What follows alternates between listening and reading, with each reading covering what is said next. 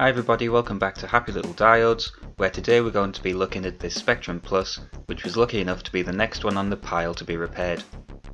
I'm pretty sure this was an eBay purchase that came with a few other bits and bobs, and I threw this on the pile because it was in such a sorry state I couldn't face to repair it straight away.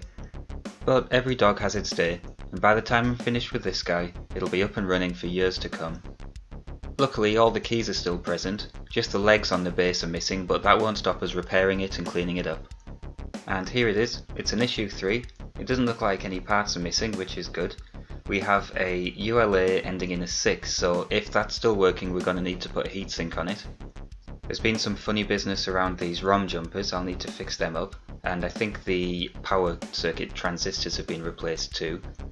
The CPU is socketed, so I assume that's been replaced at some point. I'm just going to plug this in with a current limiting power supply, so I'm going to take an AV cable and touch the center of the jack to the composite input to the um, modulator and make sure that the outside of the jack is touching the casing of the modulator to give it a ground. And this is what I was faced with. It seems like a fairly straightforward failure mode. We've got red vertical lines which indicates a problem with memory, probably lower memory. The apparent interference you can see horizontally is just interference from my uh, cheap switching power supply.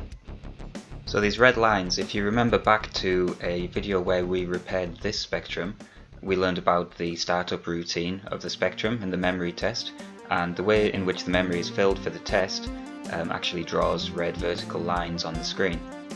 And based on the pattern we saw on this machine, I think we have this case, which means the RAM chip highlighted 1 needs to be replaced.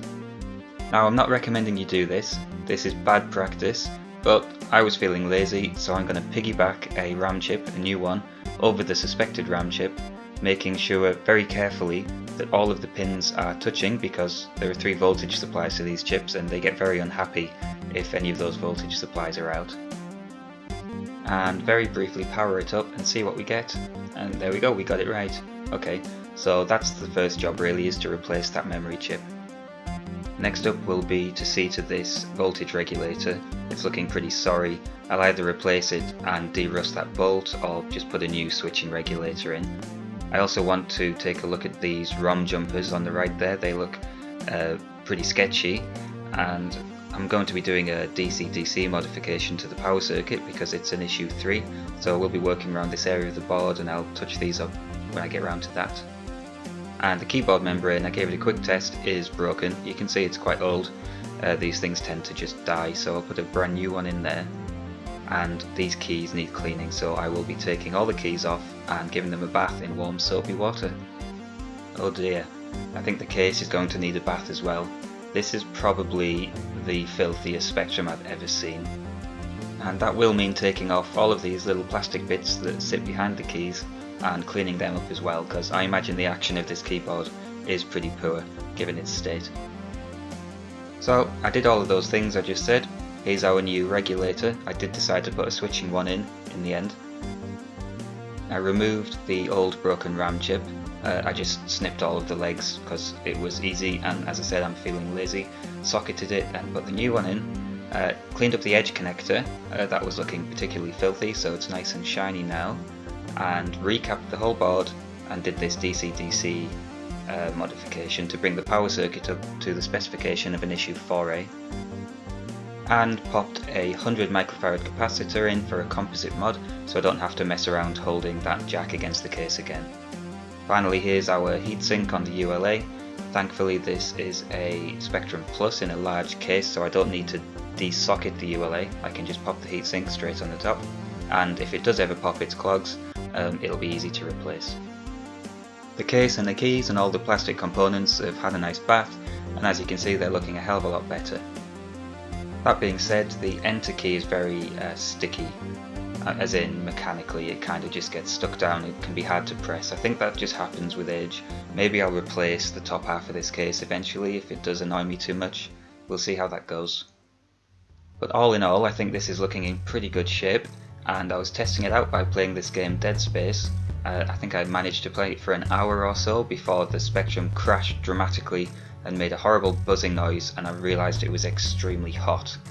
The current draw I finally checked was 0.8 amps Now with a normal Speccy in its original condition with a 7805 regulator in I would expect it to be drawing about 0.6 amps. Oh and there shouldn't be smoke coming out of it which also happened.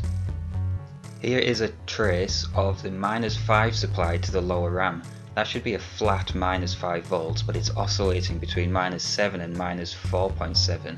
Now the component responsible for making sure this is a flat line of about minus 5 volts is this Zener diode which I added as part of the DC-DC mod which seems strange to me. This is a new component made by Vishay which I wouldn't expect to fail but it can happen. Now here it is in the R54 slot and when I touch it there's power applied now, smoke is coming out of it. I was expecting it to feel hot when I touched it but smoke came out so I think it needs replacing. I did inspect it under the microscope looking for cracks or any defects just out of interest, couldn't find any but with a new one in we're back up and running and it runs cool. It actually draws 0.4 amps now so half the current draw that we saw before. And that's about the end of the story for this machine. A couple of extra points though. Did you spot the odd upper memory chip? Well done if you did. I didn't spot that even while I was working on it, only at the end. Doesn't seem to be causing any problems though. Also, I've been live streaming my attempts to finish Manic Miner and it's been a lot of fun with some helpful tips from you guys, so keep an eye out because I'll be doing that from time to time as a means to test the machines I've repaired and just as a bit of fun for the community. Now I've been playing with this ROM cartridge and I've been desperate for a diagnostics ROM for some time so I'm going to build my own programmer to program this EEPROM and hopefully get myself up and running with a diagnostic ROM and a few games on there for testing purposes as well. So keep an eye out for that video coming soon. Thank you all for watching, stay safe, take care, bye bye.